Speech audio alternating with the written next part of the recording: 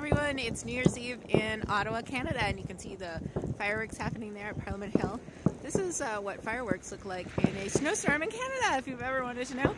And uh, I did a little face paint in honor of the occasion. You can see my little my little stuff there and my maple leaf, my Canada 2017. Anyways, I just wanted to wish all of you the very best for the next year and excited to spend it with my friends, my family, and my clients.